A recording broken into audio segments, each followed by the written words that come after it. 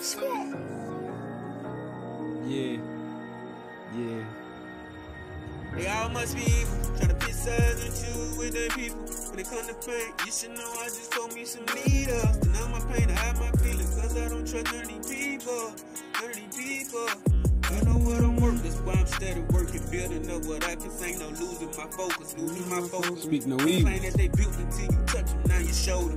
That'll give you your props until you in some nines over. Boom, boom. Gotta do what I can so I can get up out these trenches. I'm a young entrepreneur, businessman, so I handle business. Was down so long with no kids, not even me independent. But there's a God up above, so he blesses me with some. Yeah. I feel that shit be fake that they be doing. That's why I'm never in their business, never in their business. Had picked up the phone and made a couple calls, nobody was with me. God works mysterious way. I just wanna think that I'm independent.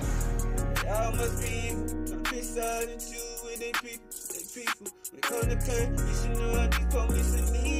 Now my pain, I have my pin, I don't trust none of these people, people.